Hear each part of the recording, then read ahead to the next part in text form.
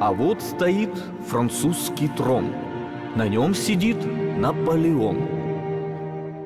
Большую армию собрал и очень много воевал.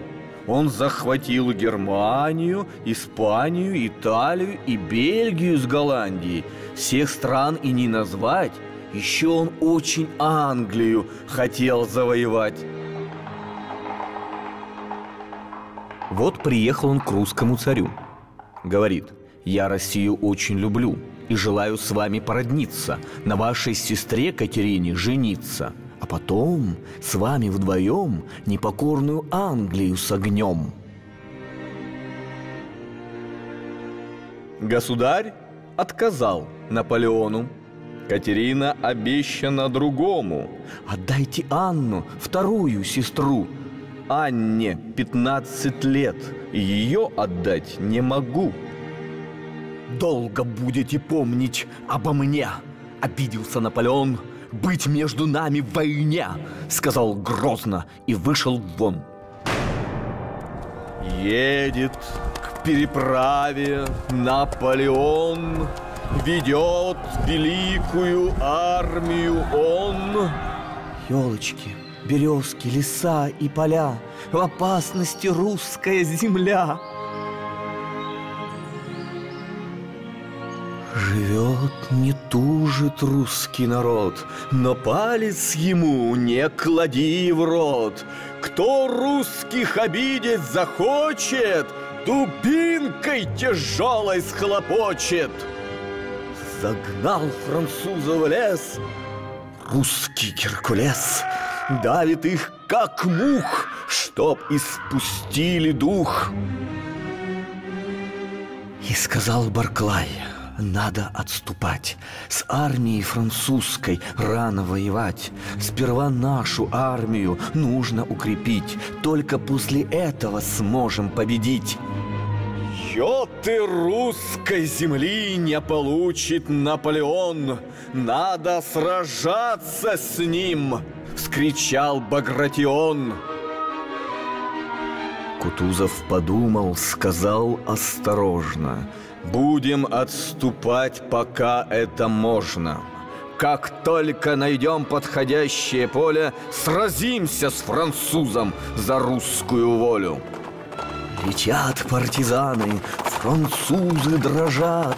Сейчас партизаны нас всех истребят, Как смерч нападут, конвой перебьют, Еду заберут, коней уведут. Мрачный, как туча Наполеон, Быстро теряет армию он, Думает, сколько еще догонять, Когда они будут со мной воевать. Но и русским воинам горько отступать, Без главного боя землю отдавать. Около деревни Бородином Кутузов встал и сказал «Оно, будем сражаться на этом поле, покажем нашу силу и волю!»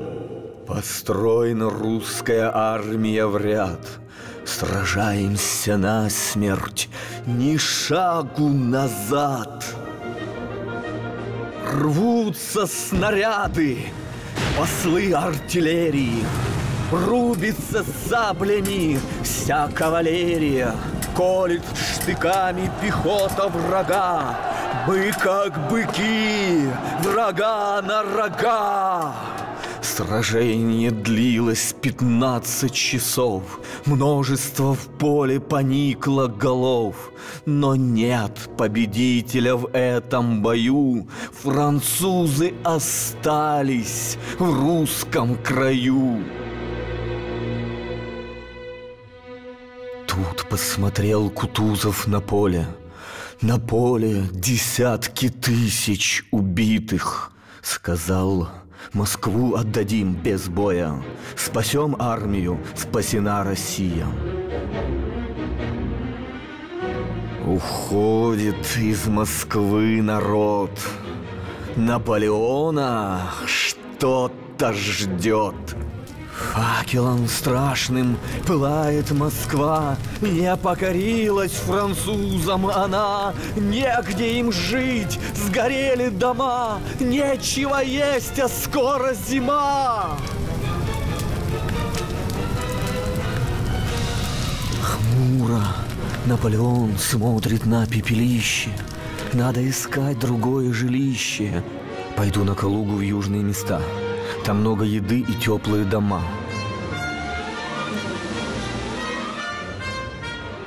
Цепь войск поставил Кутузов хитро.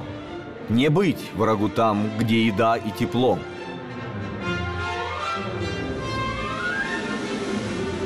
Что делать? Французы вернулись туда, где голод, партизаны и холода.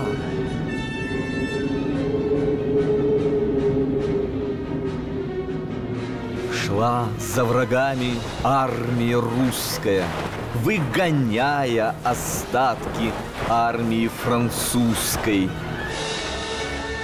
Щеголи французские превратились в сброд, накладно обижать русский народ. Наполеон успел в Париж сбежать, а вас оставил здесь погибать. Хорош мороз, в плен вас дадим, отогреетесь и поесть дадим. Наш воин тверд, как твердый знак. Народ Европы ему рад. Русские, немцы, австрийцы и шведы добились над французом победы. Мы в Париже! Ура! Наконец-то кончилась война! Наполеон обмяк, как мягкий знак, От престола отлучен и под стражу заключен. Эльба — это итальянский остров в Теренском море. Туда был Наполеон сослан оплакивать свое горе. Юношам, старцам, мужчинам и женщинам, бедным, богатым, всем, кто сражался. Слава за русскую нашу победу в войне с императором Наполеоном. Я видел в Москве храм Христа Спасителя – он построен в честь воинов-победителей. На стенах его на все времена русских героев есть имена –